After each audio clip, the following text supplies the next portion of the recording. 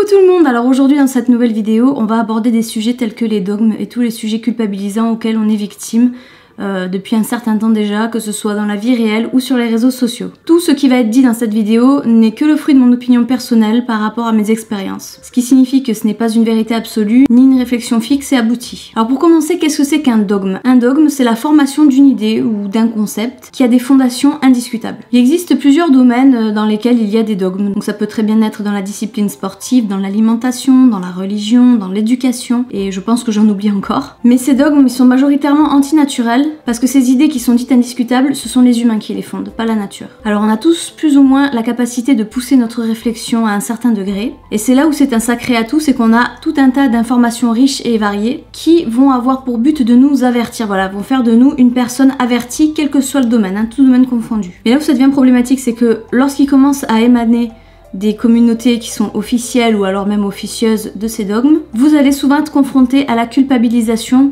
ou bien même le rabaissement. Et qu'est-ce que ça touche en général? Ça touche vos idées, votre comportement, euh, votre façon de faire, votre façon de vivre. Ça peut toucher à peu près tout ce qui est en rapport avec euh, vos choix. Les culpabilisateurs et moralisateurs, vous en avez un peu partout, hein, soyons clairs. Mais il est vrai que sur Internet, c'est un petit peu euh, la facilité qui l'emporte, ce qui fait que vous avez l'impression d'en avoir encore plus de partout, parce que là, la parole est totalement libre et ouverte. On va prendre pour exemple l'alimentation. Il y a plusieurs voies alimentaires. On a l'omnivorisme, le végétarisme, le végétalisme, euh, le crudivorisme, le frugivorisme, peut-être que j'oublie encore des, voies alimentaires, mais voilà, il en existe énormément. Et chacune de ces voies a son lot d'argumentation bien ficelé, avec même des études sérieuses parfois à l'appui pour renforcer un petit peu plus le discours. Dans le cas de l'omnivore par exemple, il saura toujours vous expliquer et vous prouver par A plus B que les produits d'origine animale sont bonnes pour la santé, et le végétalien en parallèle saura exactement vous prouver les mêmes choses mais dans son sens. Pour l'éducation, ça marche exactement de la même manière, c'est-à-dire qu'il y aura des personnes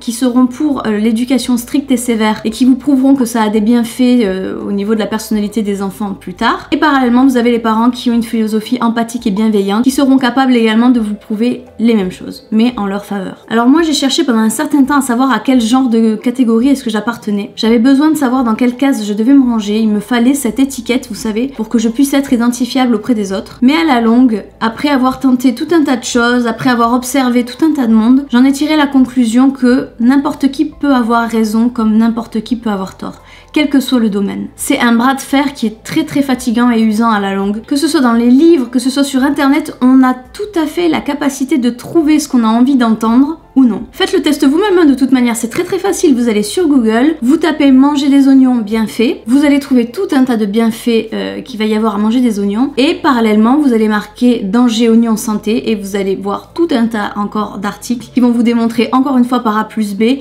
que ce n'est pas recommandé de manger des oignons. Alors que faire dans ces situations-là où vous avez déjà été confronté à ça, où vous êtes actuellement confronté à ça, où vous serez futurement confronté à ça? Suivez votre cœur et vos envies, mais tout en restant averti. C'est vraiment le fait d'être averti qui va faire de vous une personne capable de gérer ses responsabilités personnelles, et c'est le fait de pouvoir choisir quelle direction, quelle voie emprunter qui fait de vous une personne libre. Dites-vous bien que vous aurez beau essayer de constituer l'assiette la plus parfaite possible, aux yeux de quelqu'un d'autre, vous serez encore dans le faux. À mon avis, je dis bien à mon avis, les meneurs de dogmes, ce sont des personnes qui ont fait d'un sujet une utopie. Une idée pour toujours se rapprocher un peu plus près de la perfection. Mais la perfection, c'est pas de notre ressort, je pense. La perfection, c'est vraiment quelque chose qui en revient à Dieu pour les croyants et à la nature pour les non-croyants. De ce que j'ai pu voir de mes yeux et comprendre, c'est que absolument tout se remplace, tout se substitue, la nature est bien faite, elle nous laisse le choix, il n'existe pas qu'une seule et unique voie à emprunter. Par exemple sur YouTube, vous pouvez trouver des personnes euh, qui ont un mode alimentaire végétalien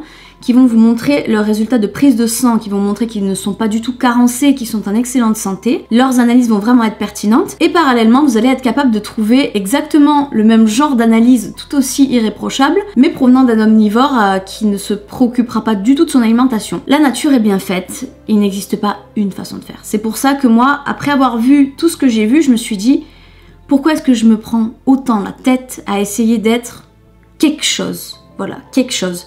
Je suis pas quelque chose, je suis une personne. Une personne, c'est pas noir, c'est pas blanc. Une personne, c'est en nuance. C'est en couleur, c'est en nuance. Et ce qu'il y a de plus injuste surtout, c'est que parfois ce sont les personnes qui vont faire le plus attention qui vont avoir le plus de problèmes. Alors qu'en théorie, elles devraient être épargnées ou du moins euh, un peu moins exposées que les autres. Sauf que voilà, la nature a le plein pouvoir. On n'est pas en mesure de décider pour les autres déjà d'une part, c'est vivre et laisser vivre. Et d'un autre côté, comme l'avait dit un chirurgien que j'ai rencontré en Tunisie, le corps humain c'est pas une équation mathématique. Les causes à effet ne peuvent pas être constantes et régulières pour chaque être humain, c'est impossible. On n'est pas fait en sucre et il n'existe pas une façon de faire les choses, je le dis, je le répète. Il faut apprendre à vous respecter, il faut apprendre à vous protéger surtout, parce que l'homme est un loup pour l'homme. On est capable de s'aider entre nous tout comme on est capable de se détruire et même quand ça part d'un bon sentiment, on n'a pas toujours le tact pour réaliser que ce qu'on dit n'est peut-être pas utile nécessaire à dire. J'avais envie de parler de ce sujet parce que c'est vrai qu'avec les réseaux sociaux, on peut lire et voir beaucoup de choses. Et j'ai également vu énormément de personnes se culpabiliser euh, d'être comme ceci ou d'être comme cela. Voilà, il suffit qu'on ait une petite faiblesse quelque part et on devient très rapidement une proie facile. N'hésitez pas à venir réagir en commentaire et puis je vous propose aussi de venir me rejoindre sur mes réseaux sociaux Facebook, Instagram et Snapchat.